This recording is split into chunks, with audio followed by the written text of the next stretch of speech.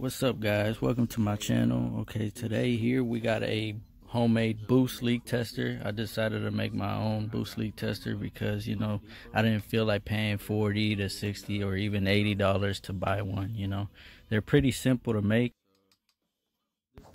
Okay so here i am taking it apart showing you guys what exactly you need to make this uh my version of the homemade boost leak tester.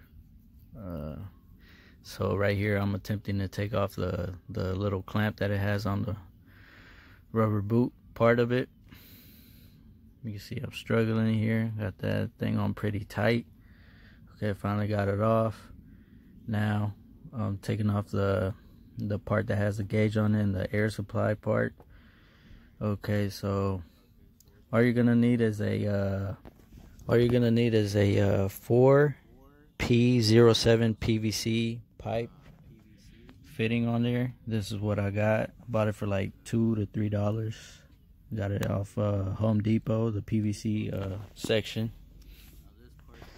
Okay, so this piece here connects directly onto the turbo. All you need is a rubberized boot on it. Where I'm pointing at, where I have my hand over it, that's the part that needs to be clamped down, facing your, yeah, that goes into your turbo.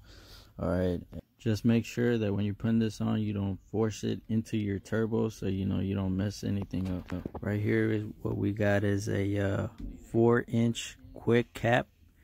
Again i found this right next to the pvc pipe over at uh, home depot. Okay that's what it is. You get one uh one get you one of these pretty thick you know so it won't cause no leaks when you drill that hole through it in the middle. You can see it right there. I made it with some uh with a knife cut it out. You know it has a clamp on there so you could tighten it down make sure there's no leaks.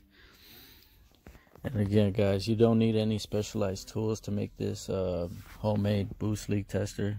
Um, this right here is a male fitting that I had to get separate from the uh, connects to the pressure gauge up to 15 psi with an air supply fitting on it. You know I got this. This was the most expensive part out of the whole you know the whole build.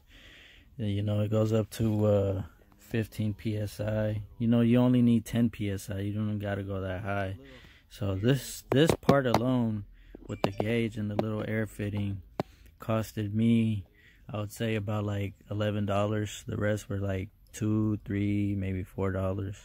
So and plus tax it cost me a total of you know uh, 20 dollars around there now this is me putting it back together again you know showing you guys you know what you need and how to put it together. I mean it's pretty easy.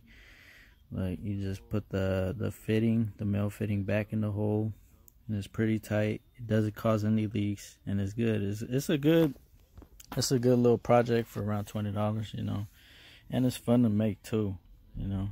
You don't got to go spending all that money you know for companies just to rip you off so I hope you guys enjoyed my video. Like, subscribe, and share the video for more videos to come. Because I will be making much more dope stuff.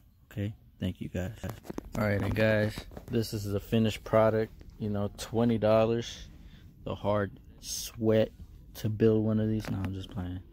No, they they they real easy to make. You know, this is just me showing you how it looks.